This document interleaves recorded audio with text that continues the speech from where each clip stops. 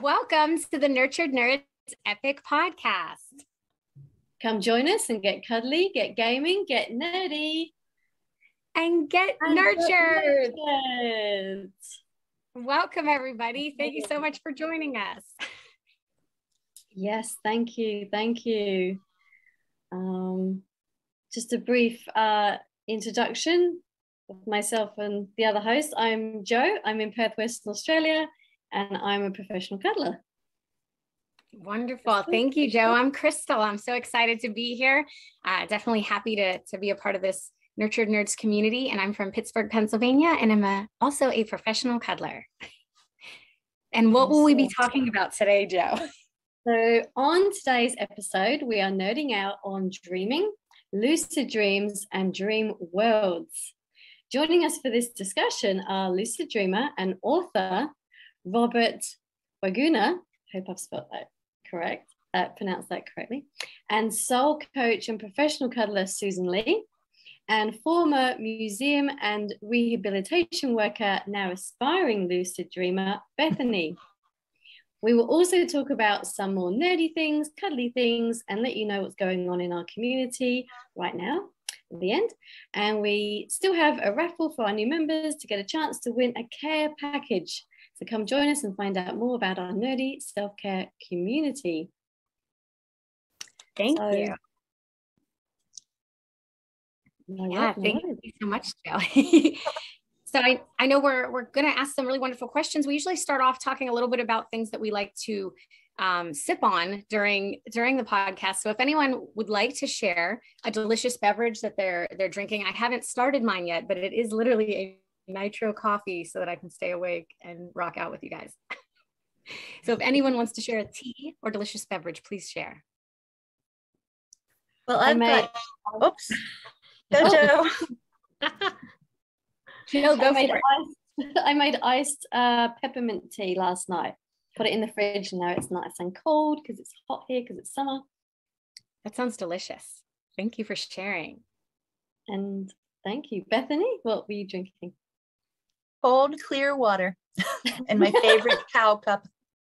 The best. The best. Agua all day. Would anyone else like to share? Um, I'm having the same agua and just a bottle because I'm traveling. So on the run. Warm water. nice. Nice. And of course, that pretty much is you know how we start off our podcasts we also like to ask for introductions. Um, of course i'd love to hear just a little bit about yourself where you're from um, just you know what kind of work you do what kind of um, connection you have to dreaming or what interest you have in it. And again it can be as brief as you'd like. And and we'll start with robert if you're comfortable starting. And thank you again for being here.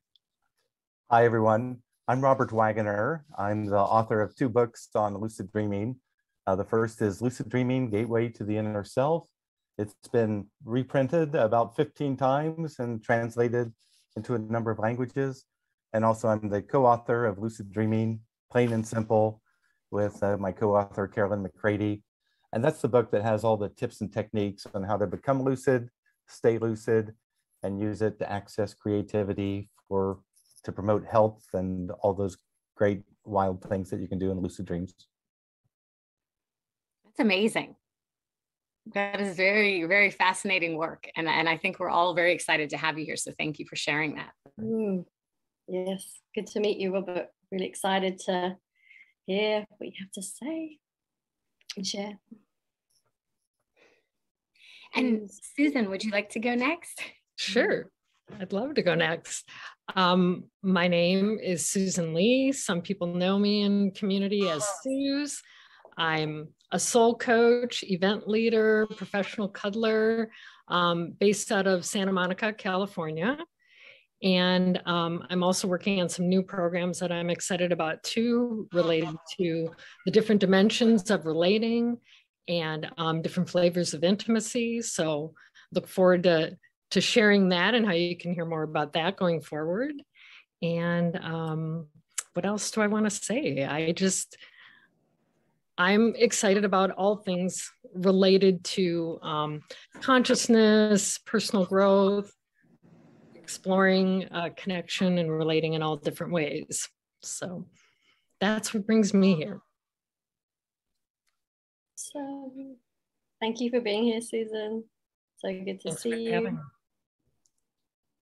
We're glad to have you. And Bethany, would you like to share? Um, sure. I don't have as much to share as everybody else, but um, Bethany Altieri um, from Pittsburgh, Pennsylvania. And um, I'm really, really excited to, to, be learning more about lucid dreaming. And um, I have kind of studied a little bit in the past. And um, I'm, I'm, like I said, I'm really excited to be learning more. Well, we're excited to learn with you. You're in the right place. You're in the right place. Okay. And a quick question for everybody. I like this question. What kind of dreamer are you? Are you casual, frequent, vivid, or lucid? Do any of those words resonate with you? And uh, just feel share, feel free to um, share. I'm definitely just a casual dreamer. Awesome. So uh, I, am a consistent dreamer and uh, also a lucid dreamer. And so uh, it's something that's I've really focused on the last uh, few decades. Fantastic. Beautiful. Um, and for me, it depends. Depends what's going on in my life. I have had lucid dreams. So I, I have had those experiences. I've had times where I haven't been able to quite capture what's going on in my dream world. And um, and I've had repetitive dreams. So I've I've had a lot of different experiences in the dream world, and I'm still excited to explore more. So this is an mm. exciting topic. Mm. So, yes, very rich topic. And Jo, how about you? What kind of dreamer are you? Oh, well, funny you should ask. I knew that I was going to be doing this co host podcast this morning because it's morning for me. And guess what happened last night? I was absolutely lucid dreaming for ages, and that hasn't happened for what I've had many lucid dreams, but not recently. But of course, last night, boom, it was amazing. I was literally in control of everything. I could do anything I wanted. I swam under the water with my clothes on. I could, I could, um, sorry, someone's at my door. I could um, fly. I could do anything. So it was amazing. So yeah. And what about you, Krista? What kind of dreamer are you? It's so funny um, that you mentioned that because I I had a very unique dream last night, and I I honestly have been thinking about dreams. And um, although I wouldn't say this was a full on lucid, I, I, feel like there were still some interesting fears and different things coming up. But I have what I like to call epic adventurous dreams where I try to dive back into them. I will literally try to fall back asleep, stay asleep longer. Um, I used to have some really interesting theories. A lot of my dreams do surround fears that I carry. So uh, my beautiful children were in my dreams, kind of adventuring, chasing them. A lot of really amazing stuff happened this morning. And I thought of us. I thought of podcast and got very excited to share. So thank you for asking. And that really does uh, resonate well and segue into to what our next question is. Um, it, it very much uh, you know, I, I I've very much pondered, excuse me, the purpose of dreams and what what I'm doing. Am I working through things? Am I, you know, facing old uh, habits or facing old uh, phenomenon or things that have happened in my life? You know, what kind of goals can I achieve within dreams? What can we do? And so the question really is, you know, can everybody tell us a little bit about what you believe dreams are and what you believe their purpose is, whether that's biological, evolutionarily, uh, psychological, or even spiritual. And I do have so many beautiful thoughts on this myself, but I would love to hear what you have to say. Is anyone called to share first? And no pressure, no rush. I'll just start out. Um, Thank you. I'll tell you, I, I've been paying attention to dreams for my entire life. What I think, and this is my own personal theory, is that there's various levels of the self. And in dreams, we communicate amongst these various levels of the self. and also we exchange information and energy.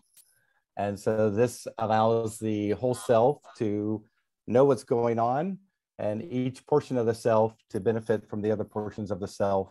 So that's what I think the purpose of dreaming is. And that's why all of us dream, mammals dream, uh, just life dreams. So that's that's what I think is going on. That's fascinating, and I'm I'm really interested um, by the, the the idea that we're facing different parts of ourself, different aspects of ourself. Uh, something I think about and meditate on a lot is um, the idea of the tarot deck and that and how we all are different characters or actors within that that major arcana. I don't know if any of you are familiar with the tarot deck. I absolutely adore it, but it's it's fascinating that you mentioned different personalities. I feel like we all have a very wide cast of, of characters that help us get through this life. Different personalities, you could call them anything, um, but I love that. So thank you for sharing that, Robert. That was really beautiful. So yeah, I'll go. Um, gosh, I've done so many things in my dream world that I, I don't know what my current theory is. That's why I'm excited to explore this topic tonight. Um, because at times in my lucid dreaming, I've decided to do certain things, such as flying or have certain experiences. But sometimes it's been more of a protective mechanism, like I'm out of here. I know I'm dreaming, like I'm out. so, so there's a lot of things I find myself working on that seem related to my real life but sometimes i also feel like i'm communicating with others that there's like something going on whether it's somebody that's no longer here on this planet on this earth but sometimes it's with other people that are and they might be just communicating to me or I to them so i just i feel like yes it's it's all me in different aspects of me and i i have different symbolism that means uh, things to me, you know, because I've had a recurring. Um, and I've had some new experiences that I've gone beyond what I thought was just me, where other people are truly coming in and are.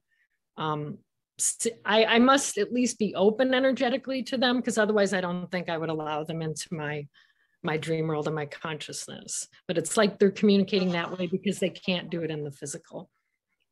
So I think that's beautiful. Yeah. Thank you so much for sharing. I, I really uh, enjoyed that. And I, I, very much feel communicated with a lot of times in my dreams, um, you know, whether that's from myself, my higher self, or other uh, beautiful, amazing beings. One thing you touched on that I really enjoyed was just talking about symbols or how symbolism can kind of connect to us in our dreams. I think that instinctually, as humans, we've passed down so many amazing symbols uh, throughout like culture, religion, our own, you know, eh, societal growth and evolution into what a society is. And it's it's amazing how many symbols are passed down through different um, uh, groups but yet they all kind of connect in and how they can be reused for a different purpose. So i kind of love that and i feel like that that resonates with me in dreams as well. So thank you susan and bethany would you like to share sure um, I, I i really agree with what all three of you have said um, I think dreams, there's just so many different levels, um, so many different things that can happen and and different purposes too. I've I too have had like communications and dreams with living and dead people. And um, it, there's prophetic dreams, there's um, just the like mental housekeeping dreams and and also healing dreams where you're working out things that you need to work out um, I, I think it's it's a really so so wide, so vast that it's hard to define what it, what it all is. Mm.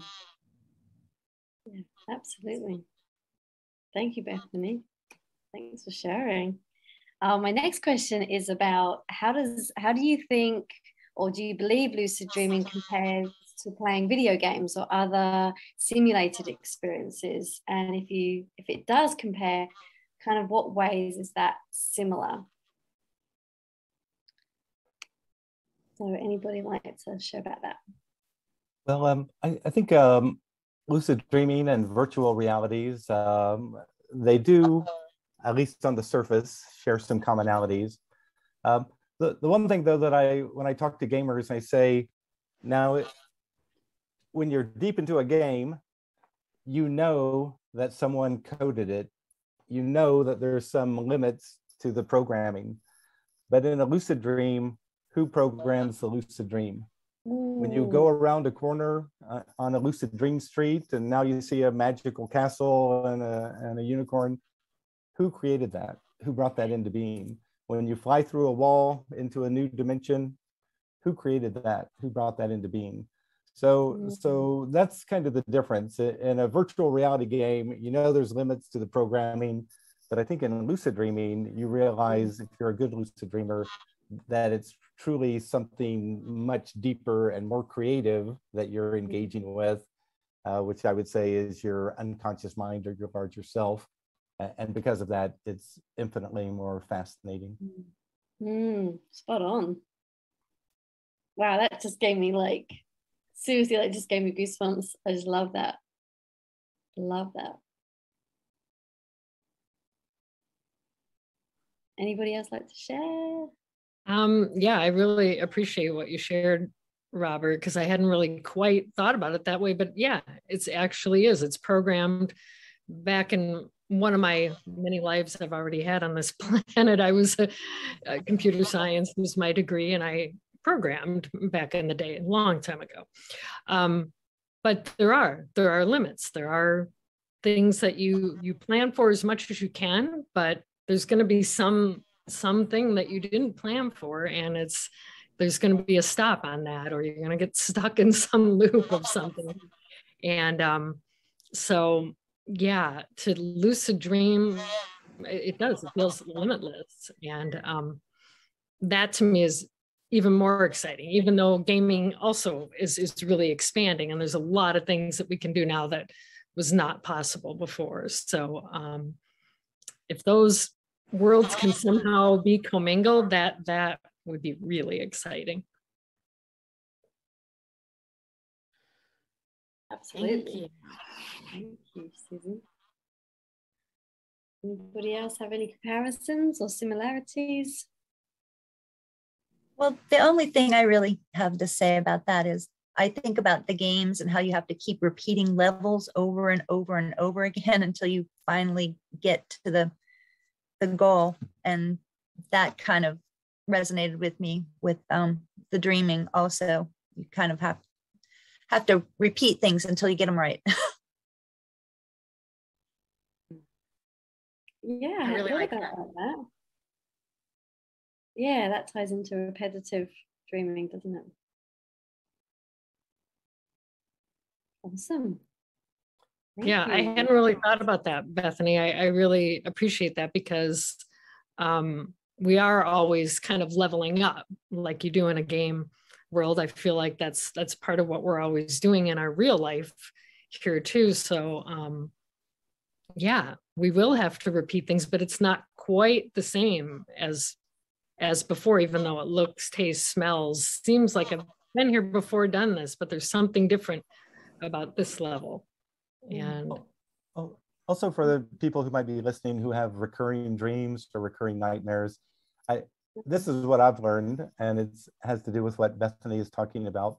Oftentimes on a computer form, if you don't type in a certain novel or proper response on one of the uh, input areas, it'll always bounce you back to the beginning and you'll keep getting bounced back until you finally fill out that one uh, blank that that you're doing incorrectly.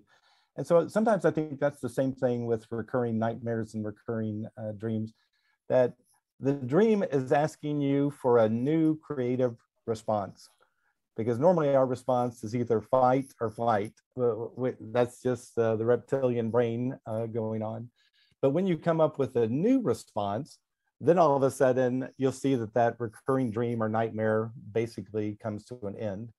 And, and I recognized this when I was uh, probably 10 or 11. I had a recurring uh, dream that the invisible man was in the house.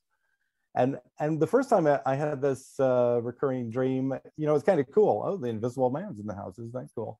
But as it went on, I started to think, well, what if the invisible man is going to hurt us? And so I'd go find all the knives in the kitchen and hide them and all that kind of stuff. And then one time, um, I could tell the invisible man was in a certain room. And so I ran and got a bucket of paint and put it above the door so that when the invisible man came out of the door, the bucket of paint would fall on the invisible man. Now he'd be visible and the whole uh, gig would be up. And after that, never had that recurring dream again. So I think that's what's happening with recurring dreams is asking for a creative response to the situation. And when you give it, you've satisfied it and you move on to the next level. Mm. Mm. That makes a lot of sense. I love that.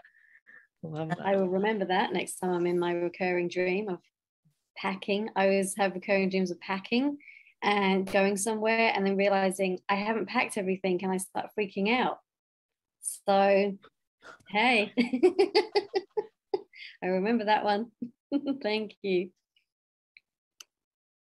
Yeah, that's lovely. Thank you so much for sharing, Robert. And and I think I think we can all relate to the idea of of the repetitiveness of um, video games in the in the idea of um, you know dying and starting again. I I remember playing a game very much you died you had to start way back at the beginning um, and i think that's such a good example of like that that small linear even the super mario's that small linear hey just go back and, and try something different so i really love those perspectives um, let me ask because uh, we didn't touch on it yet but for people who maybe don't know how would everyone here define lucid dreaming and i know what i think of it as which is um, being in control or being aware of the dream. However, I still worry that I don't actually know the, the actual definition of the real understanding of what people would consider lucid dreaming. So I'm, I'm asking Robert first. I feel like you've got this answer. So, uh, so for, for most of us, we would say a lucid dream is any dream in which you realize within the dream that you're dreaming. You literally know, hey, this is a dream. And so it might be that you see Uncle Bill and you think, wait a second, Uncle Bill died three years ago. How can this be? Oh, this must be a dream. So you know you're dreaming. Now, I uh, don't use the word control when it comes to lucid dreaming because what I think is that you're actually relating uh, to your larger self, your larger awareness. And so when I go around the corner and discover a new setting, I did not control that into being. It just occurred, um, you might say, on an automatic level or an unconscious level. So, so in a lucid dream, I can direct myself and influence myself uh, just like I can in the waking world. But mm. I don't control everything because I'm oftentimes stunned and surprised by all the unexpected creativity I encounter. But mm. lucid dreaming is realizing within a dream that you're dreaming. Brilliant. I'm fascinated by that, and I think I think that's a really good point to make. I think language really contributes. If you can still hear me, my uh, connection may be a little unstable, um, but I, I, was stating um, that that element of uh, letting go of control or not using that word, I think really really resonates strongly with me. Um, so thank you for sharing that. I, that really was important. But because I, I do want to point out that uh, in a lucid dream, uh, some of the most profound lucid dreams that people have are the ones in which they surrender. The, they mm. just announce in the lucid dream, I now yeah. surrender to my higher awareness or whatever. And then they go on sometimes and have the most incredibly profound uh, lucid dreams. So I'm going to write that down. so, so, so, so I, I know people use the word control, and, and I kind of understand they're trying to say they influence and manipulate and direct themselves within the lucid dream, but control is really too big a word. Yeah, that's a very Buddhist concept. Right. I'm, I'm, very fascinated by that. Yeah. And you were going to yeah. say, Susan. Oh, I was just going to say, I love that you said surrender because to me, that's just guidance in general. I don't care what consciousness level you're at. When we surrender, that's when the magic happens. That's when the flow happens. Mm. And we're still able to respond, you know, accordingly. It's not like we're totally not managing um, but it's mm. just it's just a matter of we're allowing the the possibilities allowing the unexpected and still knowing oh i'm here i got this i'm aware i'm mm. i have all my faculties it's just i'm in a different dimension now that's all happens to be the dream dimension Mm. Mm. Yeah. Yeah, I love that word aware. We're aware. We're aware that we're dreaming. Simple as that.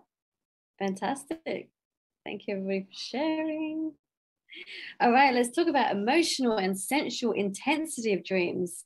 Uh, does anyone experience romantic dreams, cuddly dreams, thrilling dreams, sad dreams, dying in dreams, things like that? And do you sometimes feel that those feelings and sensations in the dreams carry over into the waking world? Well, uh, when you look at the science, um, some of our most intense uh, neurological events and also our most intense hormonal events occur in the dream state.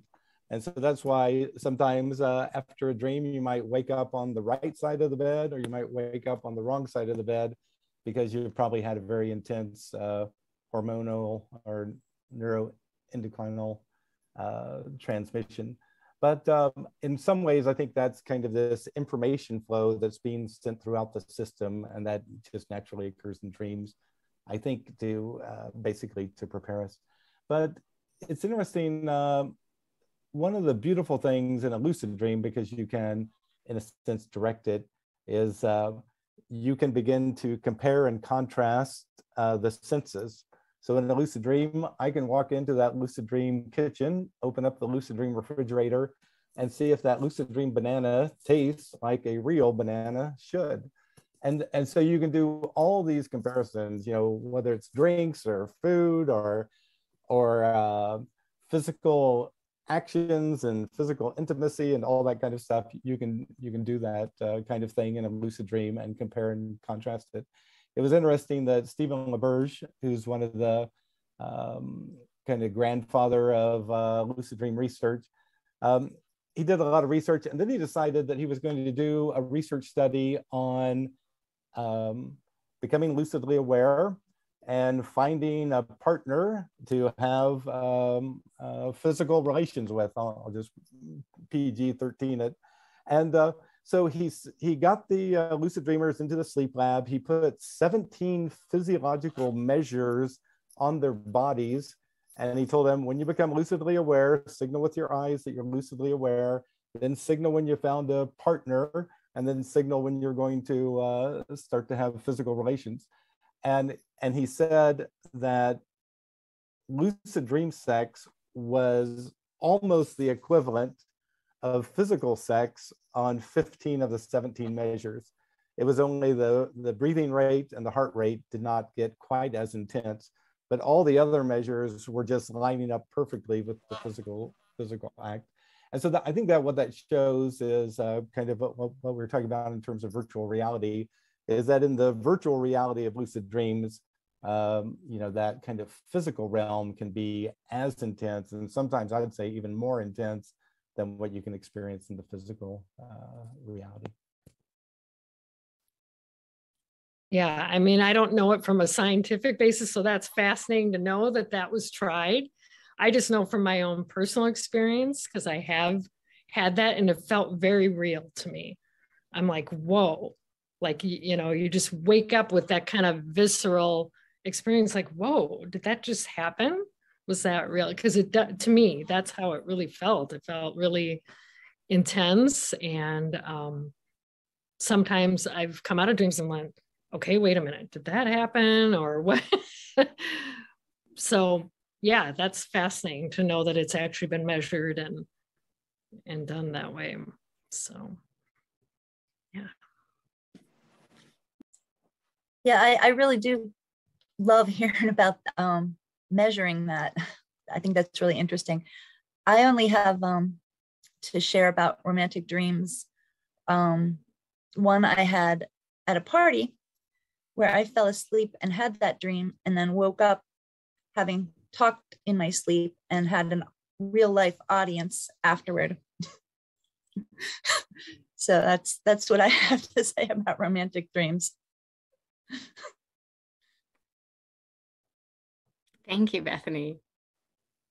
Yeah, I think that um, my experience uh, has been that that yes, uh, very much what you said, Robert, in that you wake up feeling like I feel like it, like the dreams, and again, I'll keep it as as PG rated as possible. But any of the dreams where intimacy, sexual intimacy, was happening, um, the the the very much physical feeling was still there waking up, and that actually included emotional dreams as well, meaning when fear or or being frightened or being afraid.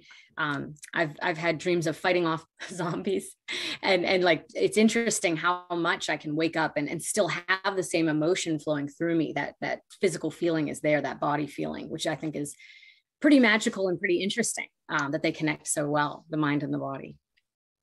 Um, moving on to our our next question, I'm of course very fascinated by the way dreams are depicted um, through others. You know, I feel like art is very much a beautiful, perceptive, um, and surreal opportunity for people to say, you know, what's in their mind or their heart. And so, as we all perceive art in different ways, um, you know, I love the idea that people portray in movies, in art, dreams. And so, um, some of the movies that are coming to mind that we discussed are Inception, The Matrix, um, Nightmare on Elm Street. You know, they kind of talk a little bit about fears, a little bit about nightmares. Uh, Donnie Darko is actually one of my favorite movies.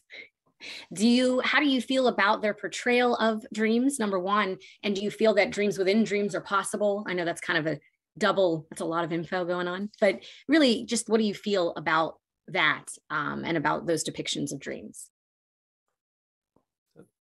So in a fair number of the uh, movies, they, they do a pretty good job of in, entertaining the idea of lucid dreaming, becoming consciously aware within the dream state. Um, I, I, I, do have to point out something about in, Inception that a, a, friend of mine brought up, which is I, have had more than a thousand lucid dreams, and uh, and my friend uh, has had many of hundreds, if not more than a thousand. And, he, he mentioned something. He said, you know, I've never had a lucid dream where I've been in a car chase or a gunfight because I know it would be imaginary. I mean, there'd be lucid dream guns and lucid dream bullets and lucid dream car chases. I, I, he goes, that, that has just never occurred to me. But of course, in Hollywood, to make things dramatic and dull, you, you have to uh, bring in that kind of, you know, chase and violence and all that kind of stuff. But, um, but, they do get across the basic idea of becoming consciously aware. And they do ask some good questions like Inception did. If you became consciously aware, inside the dream state, could you access somebody else's uh, information and, and, and wake up and, and retrieve it? And, and so, so those are all good questions to ask and uh, fun things to play around with. Um, but yeah, I, I feel like uh, Hollywood is still waiting for a really brilliant lucid dream movie. We, we just haven't got it yet. We've had, we've had some interesting ones, but a really brilliant one hasn't arrived yet. I like that. Thank you. I feel like cinematically, there's some interesting movies. Uh, what Dreams May Come calls to mind. And there was a new one that was about psychedelics uh, called The Wave. And I was fascinated by how well they cinematically portrayed um, either a dream state or a, a you know psychedelic visionary state. And so I, I, feel like they're getting like they're, they're getting closer. So i really liked what you said about that robert. Thank you. And and of course um, a lot of people would say lucid dreaming is comparable to taking the red pill in the matrix. I don't know if you would agree with that but it, it seems seems viable. I like it. And then of course does anyone else want to share? I am very fascinated by the subject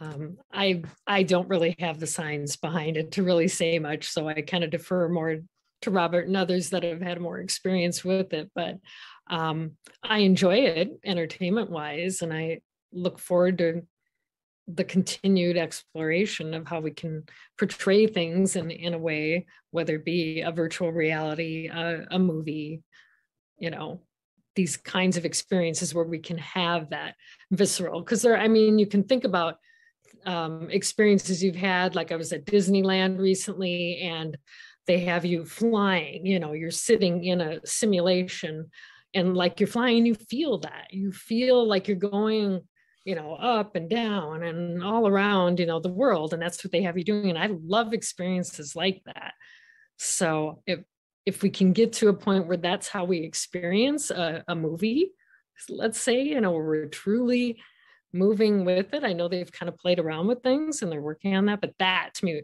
like, like imagine like Avatar, which I'm excited for that next uh, Avatar 2 coming out. But I, you know, imagine if we could be in that kind of experience, smell the smells, you know, feel the wind, you know, feel the movement and all that. That to me would be epic. I would love it. That's beautiful. Yeah. I can definitely resonate with that. There's a lot of really beautiful things at the theme parks like Disney that really do give you that all around feeling, that all around, you know, immersion, if you will, which I think is fascinating. And I think that yes, you're right. Cinematically, it's hard to it's hard to match that. I think, but I love it. Mm. I think for me, uh, movies really influence, majorly influence my dream world. Um, I, I had dreams within dreams before I saw Inception, but after I saw Inception, they increased. And um, definitely, definitely movies like any spy movie. Oh my God, I've had so many dreams and lucid dreams that I'm a spy or other big realizing other people are a spy. Yeah, I definitely believe that. Even I can watch a trailer for a movie and then I will dream about it. So I'm very, very, very. I have to be careful what. So I'm now more um, discerning of what I watch because I know that that will be in my dream world, especially ch- being chased. I had a lot of being chased uh, film um, dreams because I had watched a lot of chase movies, but now I've stopped being chased and I turn around and I face the thing that is chasing me because in real life i'm now being with my fears. So in my dreams i'm being i'm looking at whatever it is that's chasing me whether it's a monster or a dark shadow i'm looking at it instead of keep running away. It's it's it's amazing. And i'm curious if anybody else has had is an ad lib question if anybody else has had experiences like that to do with fears. Um, so has anybody had fears in real life that have been played out in their dream world, or has their dream world helped them be with fears in the real world, real world, waking world? Anybody? Well, uh, I'll tell a uh, lucid dream that helped me quite a bit, and uh, so so a lot of times when when we're being chased, uh, Carl Jung would call these uh, dreams of the shadow, and so there, the shadow, he considered the denied, ignored, repressed parts of the self that oftentimes took the shadow position behind us. And that's why we won't face them. And that's why we won't look at them. We just run and, and try to get away from them because we're in such denial.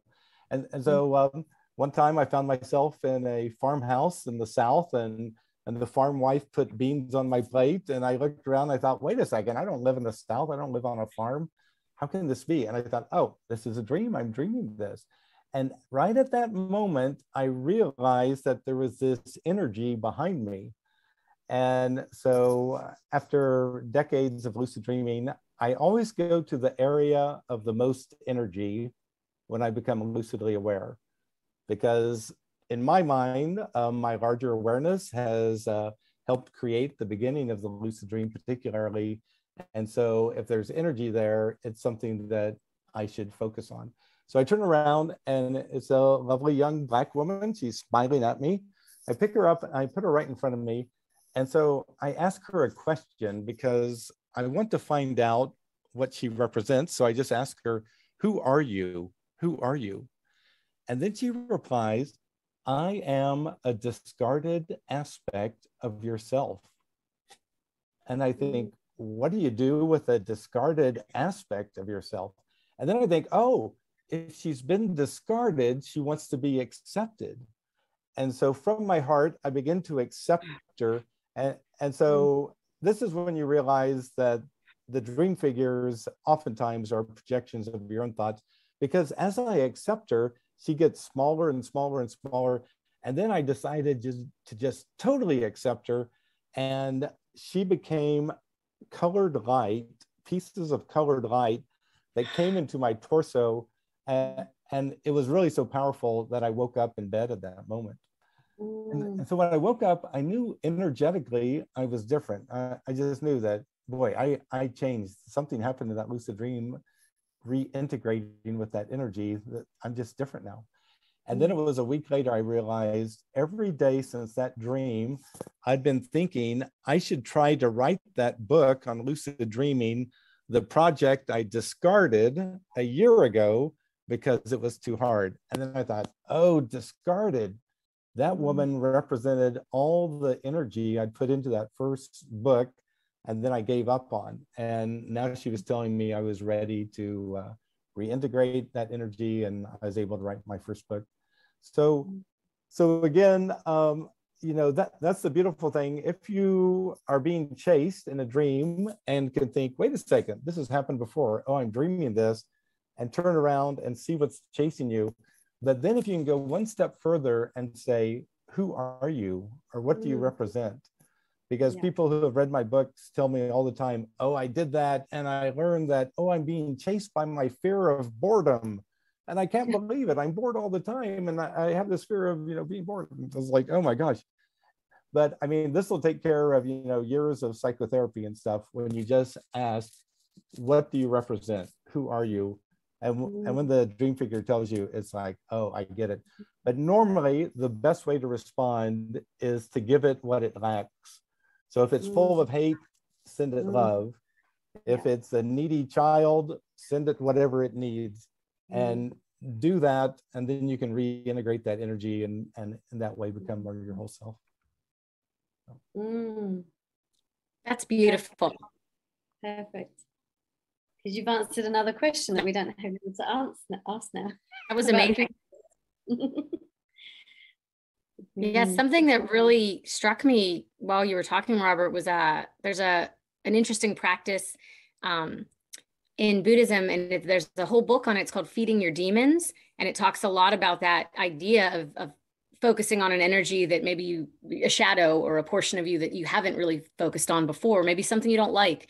Uh, and it's it's interesting because it's just literally a visual technique of of focusing on that energy, asking what it wants, asking what it would feel if it got what it wanted, and then literally like feeding it your nectar your body your your soul your heart accepting it loving it and then turning it into an ally or or turning it into it diminishes as a as a demon or as a, a negative. So that was as you spoke i was just like wow blown away that you're literally taking lucid dreaming and using it as a therapy session and able to work through so much. So thank you so much for sharing. That was beautiful. Thank you. Wow. Yeah i loved hearing about that dream. That that really was amazing yeah and and just the whole aspect um of that we can heal. This is just an, another level of healing whether it's psychologically healing but i also think physically as well. There's another opportunity there because that's really what what we're doing when we're sleeping. We're regenerating ourselves you know? And so what if we were more mindful about that and planted that seed as we're going into dream world like okay I would really like to, you know, fix these particular cells or this kink in my neck or, you know, whatever might be diseased in your body, whatever might be out of whack. So emotionally, physically, I, I just think it's a whole realm that needs to be explored even more um, consciously and and have a chance to to use that so i love what you shared robert because i that makes some sense for some dreams that I've had and what what their purpose was. You know, it's interesting. After my um, first book came out, it was a few years later. I, I got a uh, email from a young guy, and and he told me he wanted to write me after he got his associate's degree at a community college in California. And he said the reason he wanted to wait is that he knew that would take two years, and then that would mean that he had been off of drugs for two years.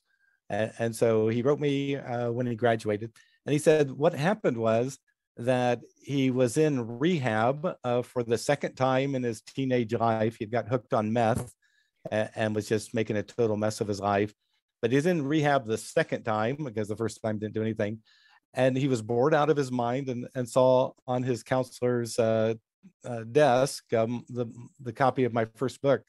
And so he asked to read it because he'd had some lucid dreams before and, and knew what it was all about. And, and so in my book, uh, I, I, share how I came to realize uh, as I got into lucid dreaming that you could interact with this non-visible awareness. You know, you could call it your unconscious mind. You can literally stop in a lucid dream and say, "Hey, dream, show me something important for me to see." And then sometimes the entire lucid dream will change, or just some little thing will appear. Anyway, this guy he began to have lucid dreams, began to interact with what I call the awareness behind the dream. And one time, the awareness behind the dream asked him a question and said, Do you want to see what your life will be like if you continue to use drugs? And this young guy said, Sure, sure, show me. And then he said it was like a 10 minute film of all the people he would hurt, all the damage he'd do to his body, all the mess he would just make of things, and, and just all the unhappiness that, that would exist because and he said because of that one lucid dream that's when he decided that he had to get clean. And and he said all the counseling and all that you know you could always lie to the counselor you could always lie to yourself. But he said when his larger awareness showed him what was going to be the outcome of it all he, he said that's when he realized he had to give it up. And and so that, that's one thing uh, you know that's why i call my first book lucid dreaming gateway to the inner self. I, i'm literally talking about engaging with your larger awareness. And and so that's that's when you really get into some of the powerful aspects of it. Because it's nice to interact with a dream figure and find out what it represents and why it's chasing you and all. But boy sometimes when you interact with your larger awareness that's when your mind is just uh, uh, kind of changed and transformed thank mm. you so mm. much for sharing that mm. Moving in a powerful, powerful transformation. Yeah. And I, I didn't really think about it, but now this kind of relates to part of the work that I'm drawn into and why I call myself a soul coach. Yes, I'm a life coach by training, and it's evolved into soul coaching because through my own inner work, that's what it kept boiling down to. I can do all the different programs and trainings and retreats and read all the books i've done it.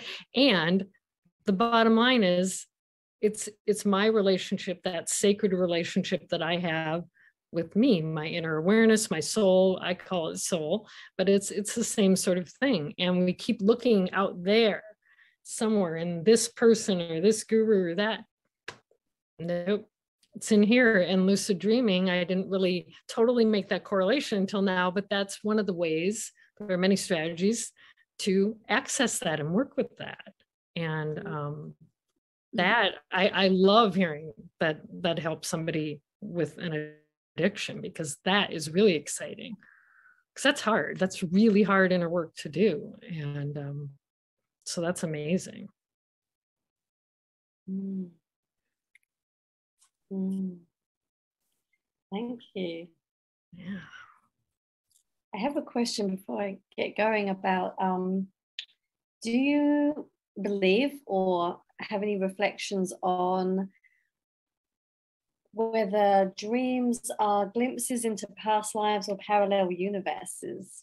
Sounds fun and exciting, but I don't know. Again, how will we ever know? Anybody have any thoughts on that? Well, uh, um, I, I uh, co-edit this online magazine. Uh, it's a free online magazine called The Lucid Dreaming Experience. Uh, and my co-editor is Lucy Gillis up in Canada. And oftentimes in her lucid dreams, uh, she meets parallel Lucy's or what you might call probable Lucy's. And mm-hmm. sometimes they'll sit in the lucid dream and compare notes. And it's the most hilarious thing uh, to, to, to hear her lucid dreams because she's really into this idea of probable selves or parallel realities that you know it's all branching out from this moment point and, and that kind of thing. Um, in my own particular experience I, I, have to say that you know when i was a young guy growing up in the midwest um, i just had the kind of typical view that you know the typical kind of uh, a worldview that oh you have this one life and then at the end of it you, you, either go to heaven or hell or, you end up in a you know nowhere and and and that's just it. But my dreams started to show me these other uh, lives. Like like the first time i ever drank wine uh, was probably when i was 11 years old looking through the eyes of a guy who was wearing this heavy wool coat. And I'm pretty sure he was in Rotterdam in the Netherlands around 1900. And I knew the docks were right behind him in this apartment. And he had this glass of red wine in his, ha- in his hand. And I was looking through his eyes, basically seeing his apartment. And he brought the wine up to his lips and, and drank it. And it, he had the kind of wine that bursts in your mouth. I mean, it's that great. And when I was a little kid, I woke up and I thought, wow, wine's that good? This is incredible. And, you know, because I grew up in a family that, you know, my parents never had any alcohol in the house. It, it just, just wasn't allowed. And, uh, but, but I have had a number of these kind of dreams that made me realize that this kind of one life view is just totally erroneous, that uh, all of us, uh, uh, if we if we knew the truth of it, would be surprised at the number of, of lives we've had. I, am talking literally into the hundreds. And uh, so so anyway, uh, I do think in the dream world, sometimes we look through the eyes of others uh, who who we're connected to, in that sort of sense. But and on occasion, you can get information that you can verify when you wake up. Uh, for example, one time I was looking through the eyes of this one guy, and he's reading this uh, silver tablet, and the tablet's made out of metal. And there's there's like three pages to it, and he flips it, and he's reading this really weird language. And and so I ask, I, I ask, what is this? What, what's he reading? And a voice behind me says, the Heart Sutra. And so the Heart Sutra is one of the books in Buddhism. It's, it's actually one of the shorter uh, sutras. And in there is the famous term uh, form is emptiness, emptiness is form. So, so anyway, uh, I woke up and I thought, okay, you know, was that Sanskrit? So I Googled Sanskrit. No, it wasn't Sanskrit. Was that Pali? No, that Google, Google, Googled Pali. That wasn't Pali. Then I finally came across a language that existed between traders between India and China from 300 BC to like 800 BC or something like that, or 80. And, uh, and that's when I saw some of the fragments of this language that I'd seen in these metal plates. And it was really a mind blower to, to realize that some of these things you can literally confirm when you wake up if you really pay attention to what you're seeing.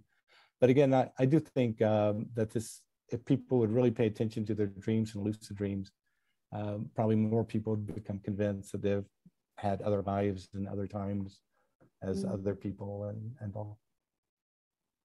Thank you. Yeah.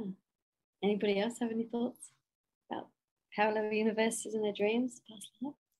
I I don't have like specific um, experiences that I've had, but I've had other friends that have had similar to what Robert just shared, where clearly it was from another lifetime. And through us talking and having certain real time experiences, me with some of these people, we clearly were in another life together. And that's why we're connecting again. There's more more for us to heal and work through in this lifetime. So I've, I've had confirmation on a number of different levels that people that are currently in my life, I had other lifetimes with. I just didn't consciously know it until I met them. And I was like, wow, okay. I mean, I've had, I mean, there's deja vu's and things like that. I've had that a number of times in my life. So I definitely know um, just in my knowing again that's just what i trust and what i go to always. My inner knowing knows there's other lifetimes other dimensions um, and i continue to explore the ways that i i can have more access to that. But I, i'm through lucid dreaming makes a lot of sense. That's one of the ways that we can certainly access that for ourselves our own lives and and with others that might be our ancestors as well. Mm. Mm, thank you. Yeah, those are all fascinating. I mean, that's that's I, my mind is blown by the way by everything we just talked about. Uh, you know, the Heart Sutra and even the idea of looking through someone else's eyes. I guess um, you know the the next question I I would have about that would be we talked a lot about what people in our dreams can represent you know, we talked a little bit about them possibly representing aspects of ourself, uh, characters we play. Um, we talked about looking through someone else's eyes, and I'm wondering a little bit more about that.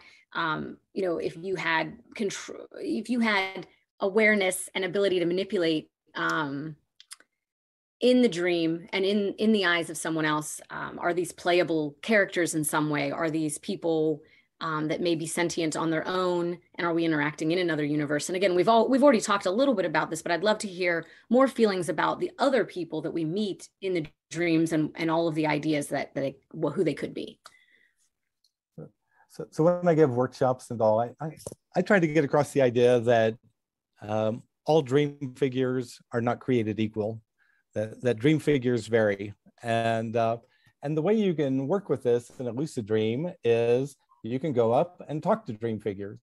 And if you read a thousand lucid dreams, um, you, you read about 40% of the time, the dream figure has nothing to say and just kind of won't meet your gaze and just, you know, it's just kind of like one of those cast of characters, you know, that didn't have any uh, uh, parts in the play. I mean, you just you just walked up and asked the wrong character. But in other cases, uh, sometimes you'll find dream figures who are very conscious and very aware and will meet your eyes and like you'll say something like hey do you know that i'm dreaming this and it'll reply how do you know i'm not dreaming this and then you'll say well look i can fly and it'll say well look i can fly and then then you'll end up trying to figure out you know whose lucid dream is this you know because it can do everything that you can do so you can find ones that seem to be equal to you in a sense and then I've had cases where I've asked dream figures, oh, would you like to go flying? And when they grab your arm and take you flying and they're dragging you through space, then then that's when you really think, wow, whose lucid dream is this? Because uh, you know they're flying me. I, I'm I'm just going along for the ride. So so you realize that dream figures vary, and that's why it's important to be respectful and ask them questions and kind of see by their responses where they are on the continuum. But then you get into more interesting character situations like uh, deceased dream figures. So, so let's say tonight, uh, if I fell asleep and, and saw my dad, uh, you know, I might become lucid and I go, oh, wait a second, uh, dad's dead. Uh, this must be a dream. But then I would wonder, is this my dad as a dream figure, as maybe a symbol of my grief or unprocessed emotions?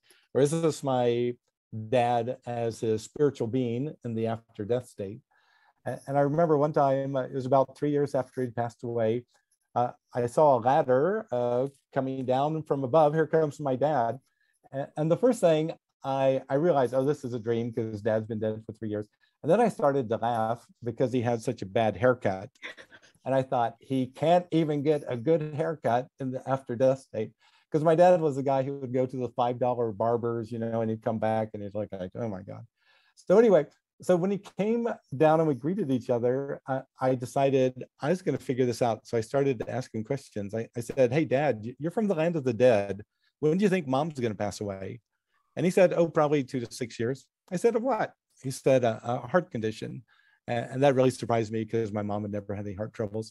Then I asked him one more question, and he replied, and then he told me to please be quiet because he had come to tell me things. And, and then, you know, the next five or 10 minutes, he was telling me things about the family. But as it turned out, uh, 23 months later, my mom went to the hospital and almost died of a heart condition. And then about three years after that, uh, she had been taking a prescribed medication that they actually learned was harming the heart. And she almost died again, but she made it through that two to six, six year period and continues to live today. But, but this is what I'm saying is a beautiful thing about lucid dreaming. You can use it to explore and experiment within your larger uh, framework. And a lot of lucid dreamers engage with deceased dream figures. Sometimes they're just grief and emotion, you know, they're representations of grief and, and those kind of emotions. And th- those are normally the dream figures who they won't respond to questions. They, they just they're just there. But the ones who are responsive, you know, sometimes they give warnings, sometimes they tell you what horse to play and at the horse track the next day. It it's wild what happens, but I think it really shows that this issue of uh, deceased uh, is really something that could be explored much more seriously, especially if people would begin to see how you could use lucid dreaming in a scientific way to investigate this. Yes. Yeah, I I appreciate that story, Robert. That was one of the stories that stood out in your book. Um, was was that particular story, and and it's fascinating to me how we can interact in that way, and you know, and then what you were talking about earlier too, like whose dream is this? And so a couple different things are going on in my mind right now. First off, where's the consent level? You know, because this is a lot of the work that we do as professional cuddlers and and intimacy work and all of that. Like, how do we work that in the dream world? How do we have consent and and can we like agree to meet together and have an experience together? Um, that to me is part of what I would love to consciously do with somebody else and go, okay, let's meet, have this dream experience and see see how how that works but yeah how how would we do that and i and i've definitely had um dreams of of the deceased um not in grand detail where i had interaction but unexpected things like um when my grandmother passed this was many years ago um, she wasn't supposed to. She was in the hospital. She had something that was going on, I think her, her hip or something, um, but it wasn't like terminal. And I went to work like I did. And um, well, actually, the night before, that's when I had the dream where she came to me, you know, and she was clearly like, you know leaving leaving this this plane of existence. I'm like wait a minute what's happening? Are you okay? And you know she clearly was not. She was not okay like why where where am i going? You know and clearly was like you know i could not reach her. And it was very disconcerting to me. And the next morning is when i was at work and sure enough i got a call and my mom told me that my grandmother had passed. And i'm like what? And i'm like oh my god that was real. That was her communicating to me that i'm i'm going. What's happening? And um yeah so that blew me away. And then same thing with my dad. My dad actually just recently passed in january. Um, the day before he passed i started talking about it like as if i knew it was coming and then he must have came to me i didn't have conscious memory of it but um, he was trying to contact me because i had a friend over and she said you gasped in your sleep so I clearly had a visceral reaction um, during the time that we believe that he passed or shortly thereafter. So I've had snippets of these experiences, but um, yeah, so I, am I'm, I'm fascinated by it. But I, I just, how do we like more consciously do this and engage with with each other and have this again this consent piece that I was talking about that we could do this together one, one thing that I've uh, realized from lucid dreaming all these years is, is that one of the things that holds us back and holds back our abilities is uh, fear. And, uh, you know, sometimes we, we fear what we might know and, and we fear what might happen. And, and so like uh, before my dad passed away, I told myself repeatedly that in my dreams, I wanted to understand as he got closer to passing away. And so that I completely allowed information to come to me clearly and without any censoring or hesitation. And, you know, I just accepted, hey, dad's going to die. And, that's how it is. And I'll tell you, I had just amazing dreams of how it was all going to unfold, how everything was going to happen, and how it was all going to work. But normally, most of us, oh, you know, I don't want to think about my mom dying. I don't want to think about, you know, my brother dying. I don't want to think about it. And and so we, we're already censoring it at a very uh, deep level. And a lot of us have our normal fears of death that are in there too. But if you let go of that, boy, you can get just super clear information, and and that that makes it uh, very powerful. Um, you know, so so I can't say that I understand a lot about cuddling or being a cuddler. But I remember one time I was at a, a workshop and I asked the lucid dreamers there, how do you use lucid dreaming, um, you know, and get value out of it? And, and so there was a guy who was a psychotherapist, and he said, Oh, whenever I have a difficult client and I become lucidly aware, I ask to find out something about my difficult client.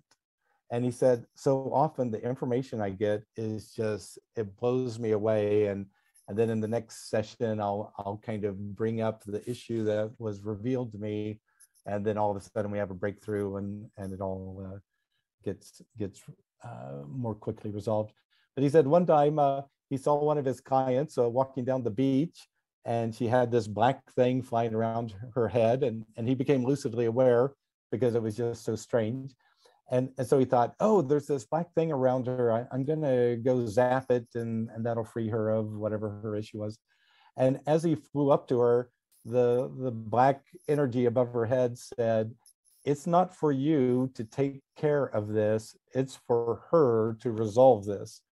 And that's when he realized, oh, you know, he's being shown that there's this issue and it's up there, you know, in her headspace and, and it's for her to figure out and not for him to just uh, zap and take out. So, so I think a lot of times, you know, uh, um, whatever the issue is with people, uh, sometimes uh, by asking in a dream, we can get a better understanding of it. And especially when we open up and allow that kind of thing to occur. Yeah, no, I I love that because that is exactly what it is and and why coaching related to me, even though I've been interested in, in all I'm different things.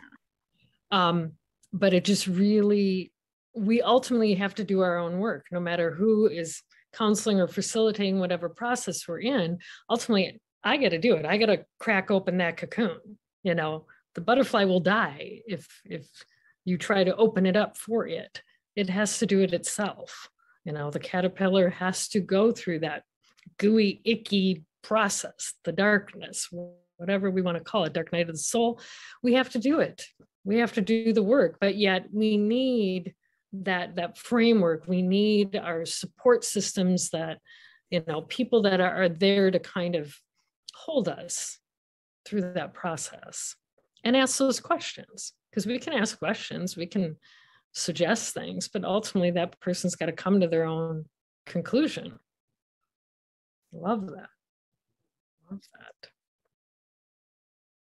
Yeah, I'm, I'm really fascinated by everything that you guys have said. And, and again, I, I very much love the idea uh, that you've mentioned that we've we've come to several times of surrendering and how that really assists in in healing, how that assists in, in guiding us through and being able to see more and lucid dream more. I'm uh, impressed and amazed, even just thinking about um, what a great connection and what a what a a grounding connection this feels to the spiritual realm or to the higher self. You know it, it, seems from everything you said robert that that i'm what i'm getting from it is such a, a beautiful mental and spiritual health healing such a beautiful transition into again um you know what some would call a higher self or a, a deeper self. And we do hide from that but it, it exists. It's there and so everything you've said has uh, really wowed me today so far. I just want to say that. Thank you. And of course, everybody's shares have been amazing. But, but one thing I do want to say about lucid dreaming, though, is, is lucid dreaming is an open platform. You can use it if you want to, uh, to explore spiritual things. You can meditate in the lucid dreams. You can do all sorts of spiritual practices in a lucid dream. But you can also, uh, you know, if you're a 19 year old kid, uh, use all of your lucid dreams to have as much uh, intimacy fun as you want to and just go after it, you know, into the hundreds and 300s and 400s and just get in this repetitive thing until finally uh, you wake up and become tired of it or or realize you've exhausted that uh, that area. So, so you can use lucid dreaming to access creativity, to heal emotionally. People use it uh, sometimes uh, to promote physical healing. They use it to engage this larger awareness and and also they can use it for spiritual whatever. But it is an open platform. If you think that dreaming is just meaningless and stupid, then most of your lucid dreams are just flying around having fun and doing dorky stuff. And that's that's where it goes. But it, it's an open platform, so you can do with it what you want. Uh, but if you're smart, uh, hopefully you'll you'll read a good book and uh, get some ideas on how you can use it in a thoughtful manner. Yeah. I I just want to comment one more situation because, like you said, you can use it in so many different ways.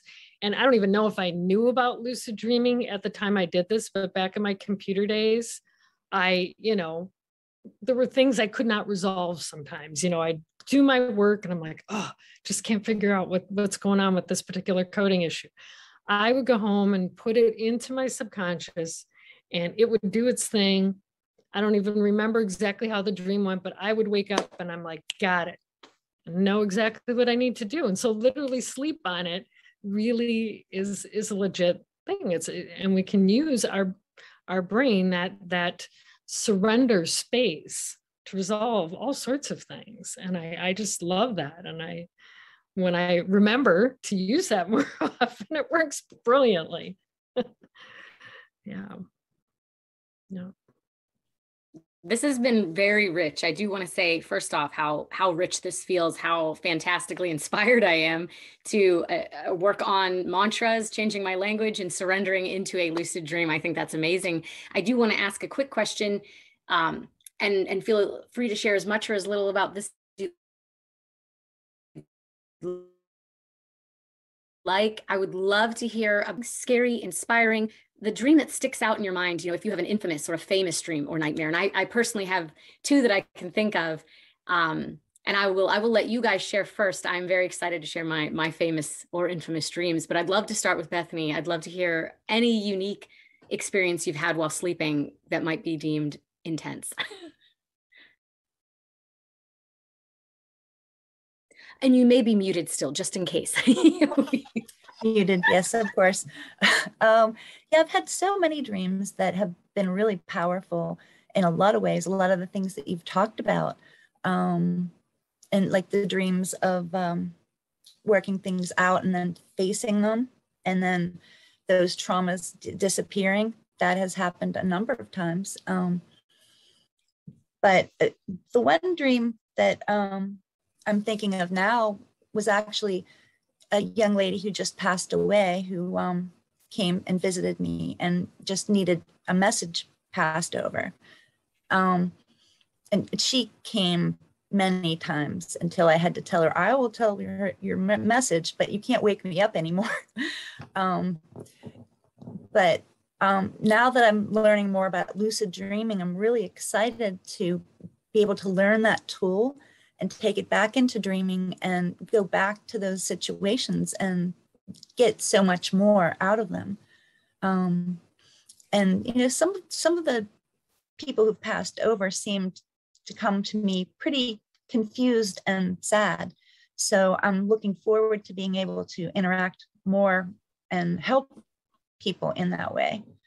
Um, and also myself. So um, yeah, um, I I'm not the best share. I'm more excited to listen to you guys, but um, but yeah, thanks. That was an amazing share. Oh, that was oh, I, I just remembered one more thing. Maybe I could ask um, Robert about. Um, I'd watched a podcast the other day, um, and you were talking about spirit tones. Did I get that right? Personal tones. feeling tones feeling tones. Can, can you talk a little bit about that? I'm really interested in that. Yeah. Um, well, well, first, I was going to share a story um, uh, about a deceased uh, situation. So, one time I was away on a business trip, and the spouse of my wife's boss passed away. And so I, I knew them by virtue of going to holiday parties and stuff like that. But that night, um, I'm going down the stairway, and coming up the stairway is Harry and Dahlia, and and Dahlia had just passed away, and I I walked up to them, and now I became lucidly aware, and I I looked at them and I said, Dahlia, I'm so sorry that you've passed over, and I'm on this business trip and won't be able to come to your funeral. And as soon as I said the words passed over, they both got big wide eyes. They looked at each other and they ran down the staircase and i don't what i'm thinking is that she was in that intermediate state where she still hadn't quite figured out that she had made the transition. And she was just kind of in that state where you assume that things are strange, but somehow you you're carrying on. So, so, so anyway, it's it's interesting sometimes uh, when you have those kind of situations uh, where you meet somebody, but uh, but but you'll have to remind me of what your question was, uh, Bethany, uh, and, and, then I'll get to that. Sorry, you have to unmute yourself. Yeah. Uh, your feeling tone. Yeah. Your so, personal feeling tone. So, um, so I taught myself how to lucid dream in 1975. Uh, the uh, scientific evidence came out in 1980, 81. And then in 1985, I was part of a three-year Lucid Dreamers Explorers group that every month would have a goal to achieve. And, and I think it was uh, uh March or May of 85, uh, it was to find out what the dream figures in your lucid dream represent. And so I thought that'd be easy uh, I became lucidly aware, followed a woman into an office, and, and now there were three women in the office and a guy in a three piece suit. And so I just walked up to the guy and said, Excuse me, what do you represent? And instead of the guy responding, uh, a voice from above him kind of boomed out a partial response. And so I said, blah, blah, blah, what? And then it boomed out the full response of what the gentleman represented, the dream figure represented. But in the morning, I thought, well, wait a second. Uh, why didn't the dream figure respond? Why did this non visible voice respond? And so that's when I began to interact with this awareness behind the dream, this non visible awareness. And so as I began to explore, I began to wonder how much does the non visible awareness know? And so I've been reading a book by uh, Jane Roberts uh, called Seth Speaks. And I think in this book, she brings up the idea of feeling tones, that everybody has a feeling tone that's the essence of themselves in this life. And so, so there's just like two paragraphs on it. And so after I read it, I thought, well, wait a second, is it more feeling or more tone? What is this? What, what is a feeling tone? And so I became lucidly aware one night and I ignored all the dream figures, ignored the dream setting, and I just shouted out, shouted out, Hey dream, I want to hear my feeling tone. And suddenly, high above me, this little black dot appears, and from it comes this very high-pitched ah sound, this ah. And as I watch, this little dot creates a cone of vibrating ah, and it keeps getting bigger and bigger. And literally the awe becomes so tremendous it vibrates me out of existence. And if you can imagine then it's kind of like uh, my awareness has kind of ceased in a way but i i can now see this vibrating cone of awe and i think right then uh, more or less i'm in the larger awarenesses framework and after a while it thought oh, I need to uh, recapitulate that one. I need to bring him back. Now, which one was he? And it's like it has to go through this Rolodex of, of selves until finally it comes across Robert Waggoner. And then, as soon as it did, I found myself in a lucidly aware, sitting in a full lotus position, looking at the house that I was sleeping in uh, my fingers were in a mudra. I didn't even know what a mudra was at that time. They were glowing, glowing gold from within. And I thought, what just happened to me? And I thought, oh, is that ah sound? And I go, whoa, not going back there. But it was only years later I realized that ah is the uh, Buddhist dream yoga sound connected to lucid dreaming is ah. And, and also it has all this connection with, with that uh, state of awareness. And then I realized that, you know, in, in the Vedas or the, the Hindi view of the world, uh, everything is kind of sounded into being. We, we come by virtue of kind of mantra sounds that are pulsing the phenomenal world into being. And, and this little black dot that they call a seed syllable, I think it's called a bija. And, and from that emerges the sound. And I, I'll tell you, it's wild to experience a concept in lucid dreams. And and that's why this is how profound lucid dreaming is. When you read the you know these ancient you know vedas and and and you think how did they come up with this stuff that oh there's all this and that? But in a lucid dream when you're shown a whole schema and, and then you go, oh, well, that that's how they did it. They they got they accessed the information probably in some sort of lucid dream-like state. But anyway, so so that's that's what a feeling tone is all about. But it gets to the larger issue of experiencing concepts, and that's why I encourage people who are on a spiritual path. Uh, if you become lucidly aware, don't try to find God or Buddha or, or Allah or whatever.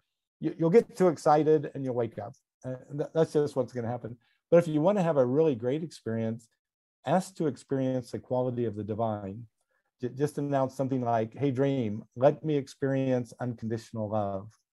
Or, hey, dream, let me feel one moment of atonement. Or, hey, dream, let me feel whatever it is, a minute of samadhi.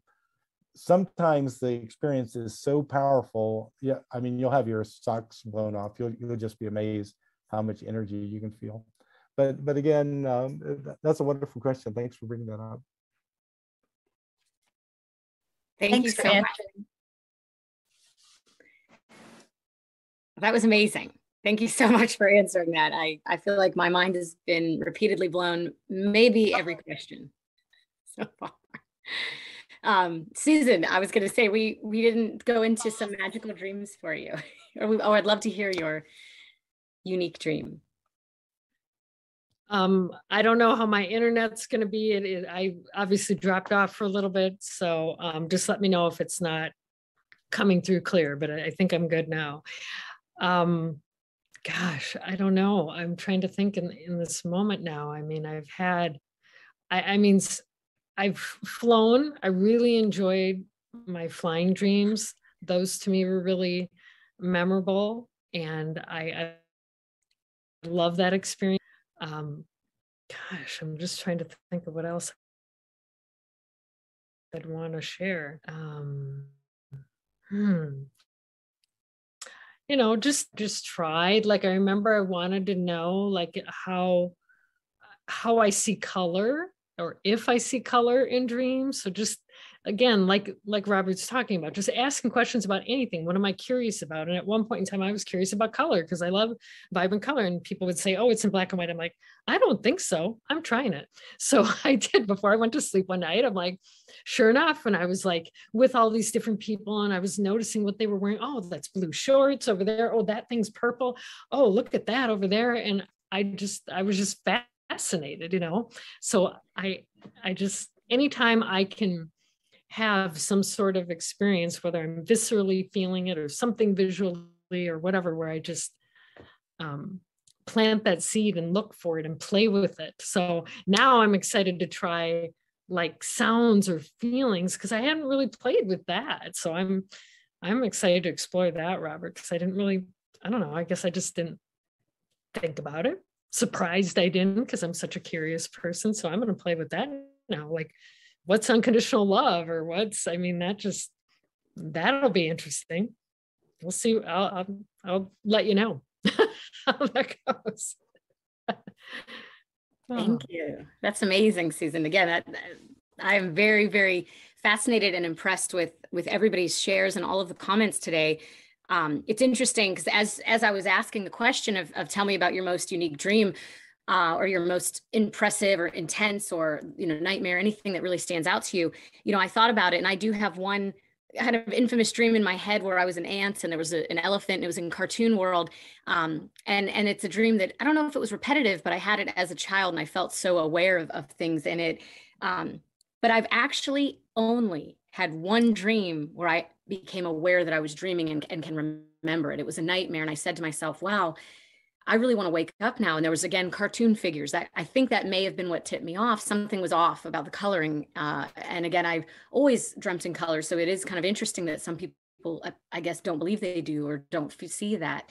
Um, and so I guess my my one of my closing questions, or one of the closing questions, and this is something I've wanted to ask the entire episode, the entire time, by the way, is if I were somebody who doesn't recognize how to to really become aware.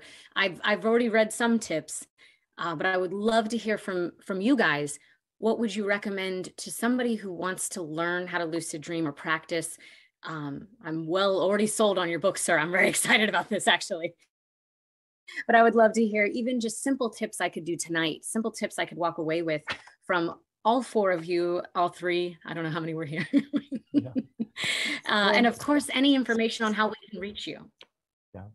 Well, when it comes, uh, there are some relatively simple ways of becoming lucidly aware. And uh, first, a person wants to get into the habit of good dream recall. Because if you're not recalling your dreams, uh, you might become lucidly aware and not even recall it. So you, you want to get into good dream recall. And, and then um, I'll tell you what I did um, um, back when I was a kid. Uh, um, I got into the habit of doing this. Uh, each night before I'd go to sleep, I'd look at the palm of my hands while telling myself, tonight my dreams, I'll see my hands and realize I'm dreaming. Tonight my dreams, I'll see my hands and realize I'm dreaming. And I'd just repeat that over and over to make that my intent before I went to sleep. And then each time I woke up, I'd try to remember what I dreamt and did I see my hands? So I would do that for about five minutes and fall asleep. On the third night of doing it, um, I'm walking through my high school hallway. I was in high school at the time. And all of a sudden, just like they're spring loaded, boom, my hands popped right in front of my face. And I said, My hands, this is a dream. And it was so wild to realize that these football player guys over there, they're, they're really dream figures. And I touched a nearby wall just to see what it would feel like. And it felt exactly cool and nubby, just like you'd expect. And I went on to have just an amazing lucid dream. So, so that's how I got started with it, just in this kind of stimulus response. Every time I see my hands, my thought would be, this is a dream. Um, probably the, the other thing would just be the power of suggestion. Like tonight, my dreams, I'm going to be much more aware. And when I notice something strange, I'll realize I'm dreaming. And I would just repeat that over to myself. And then in the dream state, I'd notice something strange and I think, boy, how am, how am I in London? I, I don't remember flying here. And oh, this is a dream. So, so those are some easy ways, but but there's a lot to lucid dreaming. Uh, just becoming lucidly aware, there's still a lot to know after that, but but that could get you through the front door at least and give you an experience. Thank you so much. That that's awesome and I'm, I'm very grateful for those shares and they they really I, I will be practicing. I, I really resonate with the idea that language matters and that what we tell ourselves how we address ourselves internally affects the outside world. And of course uh, bethany any any idea any shares on on how to create lucid dreams anything in your heart space or anything you'd like to share? In my dreams i'm probably muted um well, I I have had a few lucid dreams, but not um, not on purpose. And um, so I I think that um, actually meditation is one of the gateways into this, and and I think that's um, a good place to start. I know when I was small, I used to meditate a lot, and um, that's when I had the lucid dreams at that point.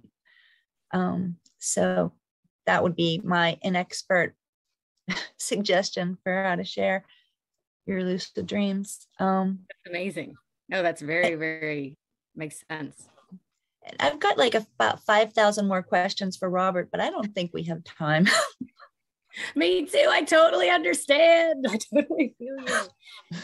Thank you for saying that. I was thinking. Yeah, yeah, we need to have like a four hour podcast or something. But but I, I really appreciate um, being able to hear all of what all of you have shared. And, and I'm so excited to get back into practicing lucid dreaming. And my adventure is just starting. I love it. That's perfect. That's very beautiful. And thank you for sharing what we were all feeling. I, I love it. And Susan, would you like to share any any advice or any tidbits on how you lucid dream? Um, well, I think I've kind of alluded to it and we've we've touched upon it here. It's basically that intention, you know. So having some sort of routine. Um, so when I'm practicing it, it, it comes really simply to me. Like I said, I just planted that in my mind literally just one night said hey i want to see if i dream in color or oh i want to solve this program problem or whatever you know just anything but it's part of it i think also bethany spoke to too it's having that quieting of the mind it's the space you're creating before you go to sleep if i'm distracted by something else, it, it might not help me lead into that experience. So, like Robert's saying, he was very intentional. Okay, I'm going to see my hands. You know, so something having that talisman, that something that's going to help you. Oh, yeah, okay, this is how I'm going to know. Am I lucid dreaming or not? And then again, just having that intention. What what do I what am I curious about? I mean, to me, that works in waking life as well. Anything that we put our energy and focus on, guess what? You're going to get some of that, the whole law of attraction. So I, I feel like it works for lucid dreaming as well. So let's let's make use of it in all the different realms that we can connect and explore and and um, yeah. That's beautiful. That's really powerful and I, I really do love the idea of intention ritual rep- repetition. Uh, i love the idea of vulnerability surrender meditation um, you know even just those those little tidbits actually are, are really inspiring. So i do want to say thank you once again for everybody who spent some time today talking with us. Um, i do want to make sure i give a little space that if you would like to share an email a website a way to reach you if anybody has questions for any of you does anybody want to share how to reach them? So um, you're always welcome to check out my websites. Um, I, I, have two uh, uh, one is dreaminglucid.com, and the other is lucid-dreaming-advice.com. Amazing. And there you can find out what I'm up to, or I have uh, places to ask questions and that sort of thing. So, uh, so thanks. It's been a lot of fun. Yeah, we're really grateful to have you. It was a real pleasure, Robert. And I, I will be certainly checking those websites out. We'll also put them in uh, the comments so that we, so that our viewers can take a look and click on the links. Anyone else like to share their website or info? Um, I'm going to pop pop in and say too, but I just wanted to share. I have your book, so if anyone wants to check out at least this book is is this was the first one I think, right, Robert? So that's right. That's right. The, the second book is Lucid Dreaming, Plain and Simple, and that that's more all the tips and techniques. But but thank you, Susan. That's that's sweet of you. Yeah. Well, I again I I I'm fascinated by it and kind of like I think Bethany already stated this I'm I'm going to more consciously do my practice again because I kind of got out of the practice and and it really worked for me you know? We have all these wonderful tools but sometimes we forget to use them you know? We get excited or distracted or off into something else and so I'm I'm appreciating this discussion as reignited that that tool set for me. And um and how to reach me um, I'm Susan Lee. So you can find me on Facebook. I know there's a million Susan Lees, but maybe if you search um, for particular things related to soul coaching, professional cuddling, of that nature, Cuddle Sanctuary is where I receive my training from. So um, that could help you in searching for that. Um, you can find me at cuddlesanctuary.com under their services. I'm one of one of the professionals under there.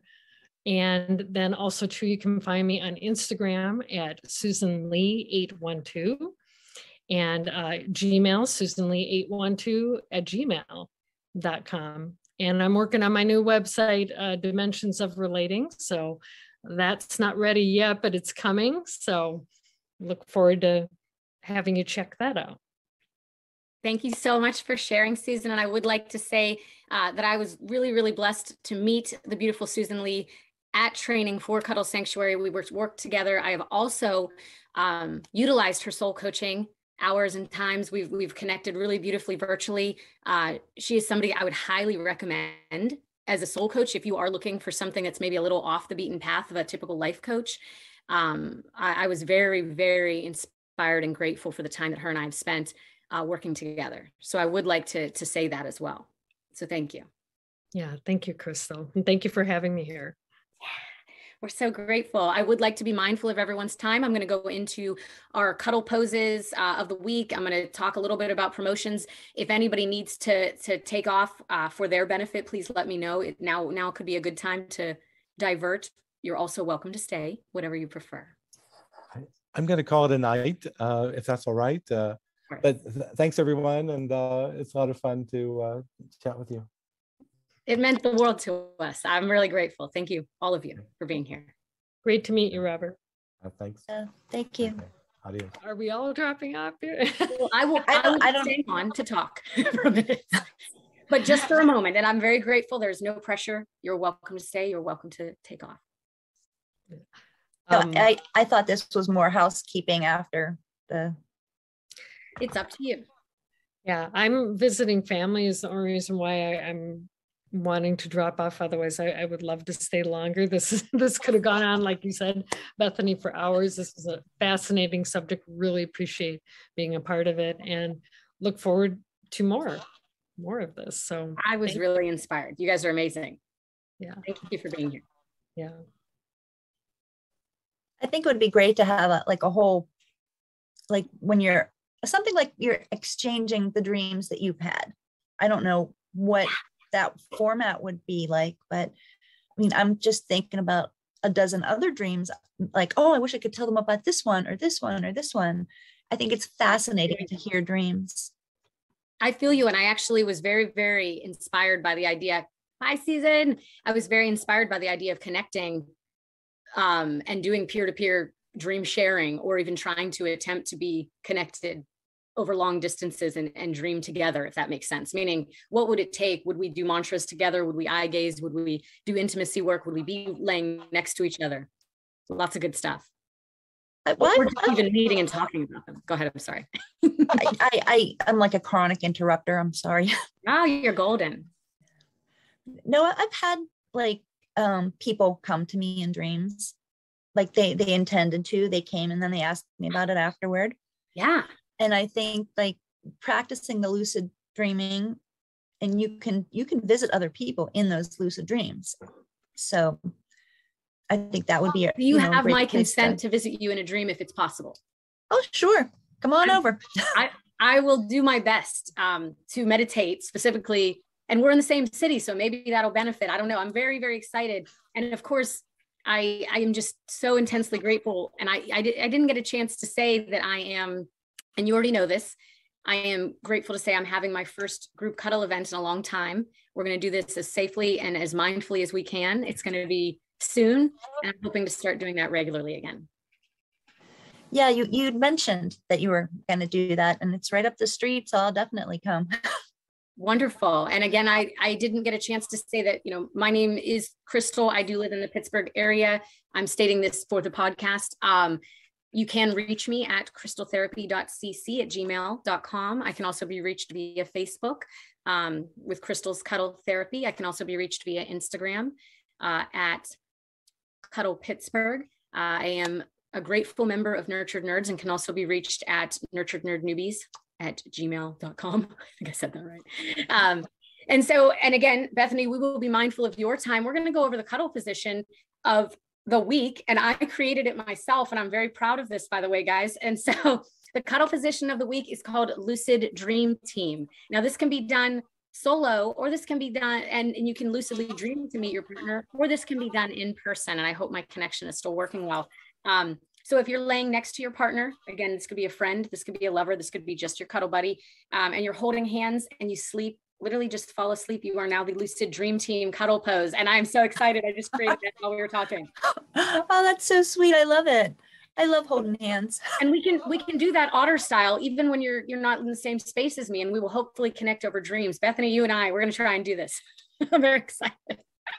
I, yeah, I, I'm excited too. The other person I connected with in a dream was in Norway, so I'm not sure if the distance is a problem, but Uh, I don't think it is. I really don't, and I think it's it's a magical. Everything that we talked about today was mind blowing, awe inspiring, and really just resonated and connected in with so many of my spiritual practices. And and once again, I try not to give away too many of my cards or show too much of my hand, but I very much have been, you know, a student of spirituality for a long time and esoteric religion, um, and and just culture and, and anthropology.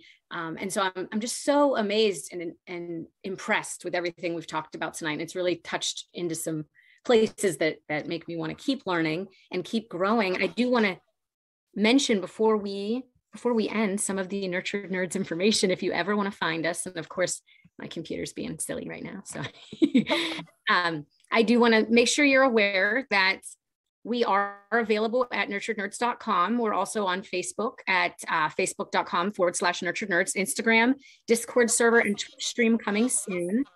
We do have a new member raffle for Nurtured Nerds. Uh, we are starting a dance break and we do have nerd breaks. And so, really wonderful ways to connect virtually. And I'm very inspired by what we've talked about today to kind of do a nerd break on dreams. Um, but we do have nerd breaks once a week. We're trying to start up a dance break either once daily, once weekly, once monthly, possibly a mix. Um, we are having a new member raffle, as I mentioned. Uh, that does include a free 30 minute virtual session with any participating professional cuddler. Uh, and of course, that's after an intake screening and consent from that cuddler. I am one of the cuddlers on that list. There is a free ebook on cuddling and connection. Um, and I believe that is written by the beautiful Mary um, a free video game gift card, which can be used to download a video or PC game. And of course, you get a chance to uh, submit a question for some of our wonderful Nurtured Nerd Epic podcasts, which I really do think are part of the heart and soul of Nurtured Nerds. We try to touch on things that people, um, we try to touch on things that people are fascinated by, connected in with, aficionados of, or just something you can be quote unquote nerdy about. And, and I once again would really, really like to take a moment to thank everybody who is here today. Of course, Miss Bethany, uh, Miss Susan Lee, um, the wonderful Roberts, um, and of course, our Gita, our ghost in the machine, uh, the, the wonderful gentleman who is behind the scenes and helping us do all of this work. Um, so yeah, I want to say thank you to everybody who's been a part of this. I do want to ask if you are feeling nurtured. And of course, Bethany, you're the only one here. How are you feeling? very nurtured and very I just keep using the word excited because I am super excited to dive into those dreams and make them work for me. I feel that energy and I'm very, very grateful. So, what we're going to do now, just to let everyone know, is we're going to say goodbye. We're going to say goodnight.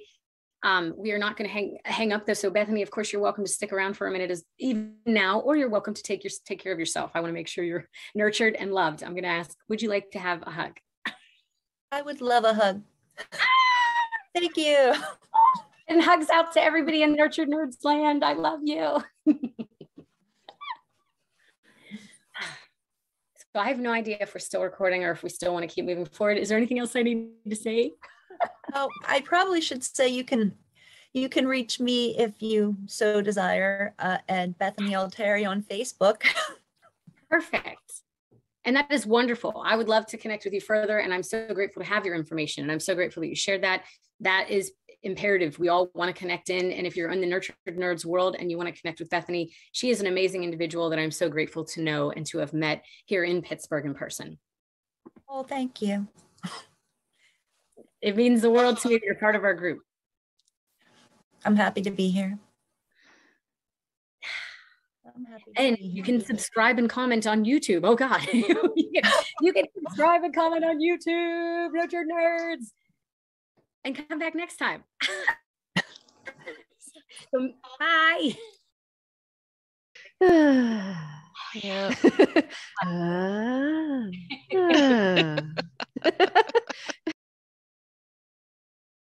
uh.